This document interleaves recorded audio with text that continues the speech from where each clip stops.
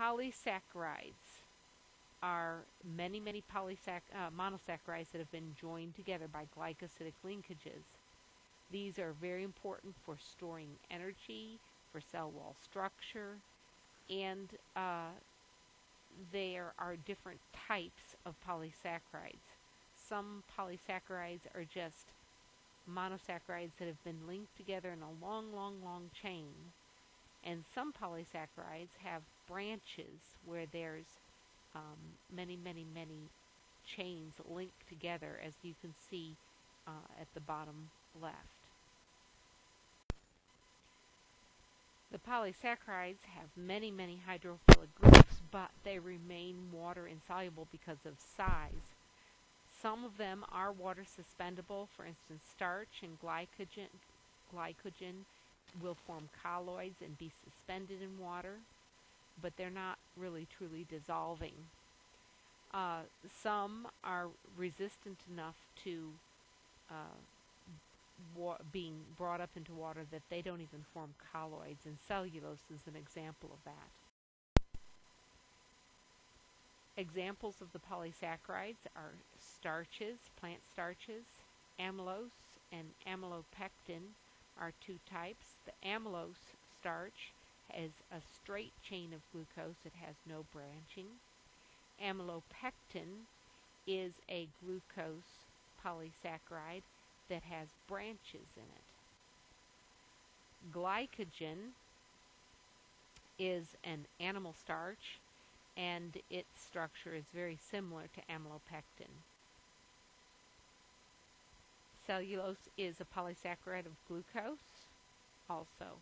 Every single one of these polysaccharides that I've listed here are essentially glucose polymers, meaning that glucose molecules are linked to each other uh, by the glycosidic linkages in all of these uh, polysaccharides. Amylose has a specific type of linkage. All of its linkages are alpha 1 4, meaning that you have two alpha glucoses and they are joined by the one carbon on one. The one on the left has a one carbon with a hydroxyl group in blue, and to a four carbon on the other one.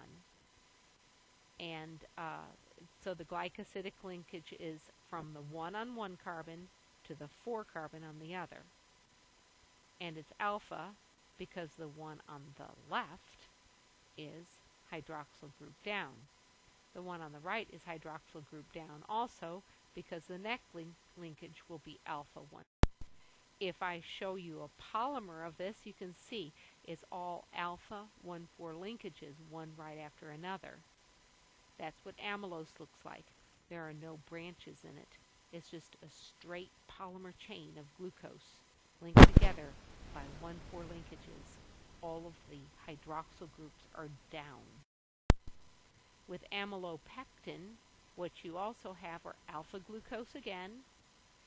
All of the uh, the 1,4 linkages have the oxygen down, but we have branches that are made on the 6 carbon.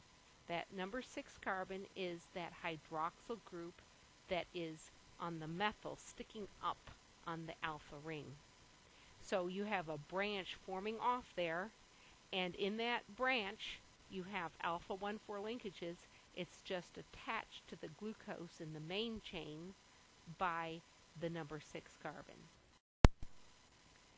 Glycogen has the exact same uh, linkages as amylopectin, but what you have there is amylopectin has few branches and the branches are really long, and glycogen has many, many branches, but the branches are really short.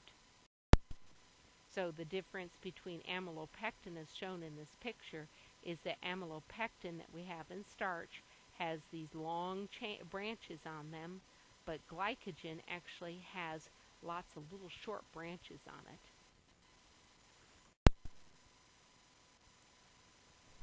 Cellulose is all made from beta 1,4 glycosidic linkages. Cellulose is what we call fiber because we have no ability to digest this starch. Amylopectin and amylose all can be uh, digested by us and broken down in the individual glucose units used. But cellulose is made of beta 1 4 linkages, and there are no. The beta 1 4 linkages are not able to be broken apart by any animals. We don't have the enzymes that can grab a hold of them and break the little glycosidic linkages so that the individual glucose molecules can be used for us. Ruminating animals such as cows and goats and deer, they all have bacteria in their guts that produce an enzyme that will break this so they can eat uh, plant products that have cellulose in them and actually get the glucose out of the cellulose. But anytime a mammal, like humans, eat cellulose, it will pass through us undigested. And that's what we call fiber and helps keep our intestines working properly.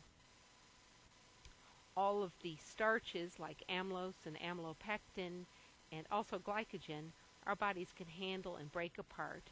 And so when we eat starches, it's just like eating glucose directly because our bodies break it down into in the individual glucose molecules. So when you eat rice or potatoes or corn or wheat, you actually are eating starch, which is actually just glucose.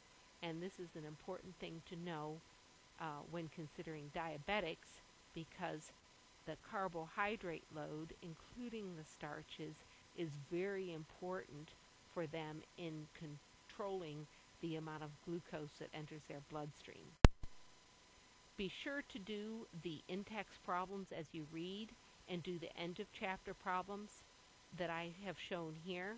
Now, when you do these problems at the end of the chapter, you'll be able to see the expectations that I have for you on understanding um, we are not going in into this in any real great depth. It's more that you understand what we put in the online lecture and that you can do the end of chapter problems. I've also posted an online quiz for you to take. Be sure and come for help if you're having any trouble with this.